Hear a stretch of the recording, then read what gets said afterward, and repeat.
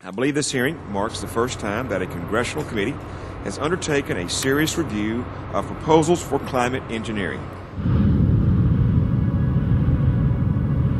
This is about how we engineer the planet. It's about the fact, an uncomfortable fact, but it is a fact, that we have the technical ability to do this.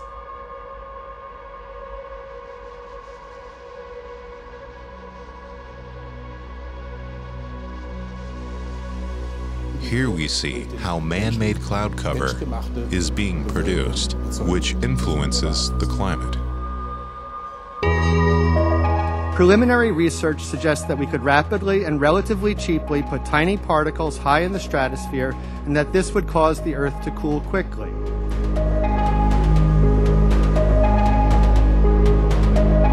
There are times and places on Earth where contrails cool. If you fly specifically where contrails cool, you cool the Earth. They're using planes, they're using aluminum, and they're using barium. And it's time that we stand up and stop this experiment.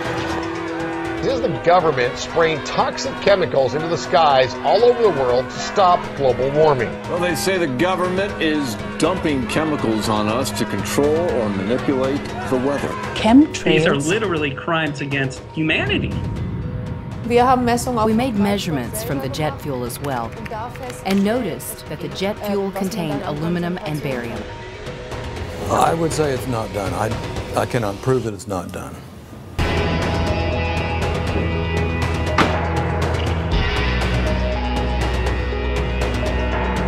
Everything we hold sacred is, is on the line here.